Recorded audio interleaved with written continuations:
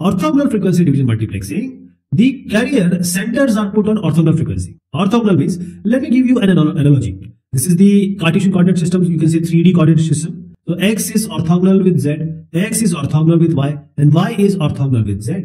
So we can have x, y, z together, though they are orthogonal. So same thing we are doing here. We are taking multiple frequencies and we are arranging them in a way so that they are orthogonal, perpendicular, or not interfering with each other.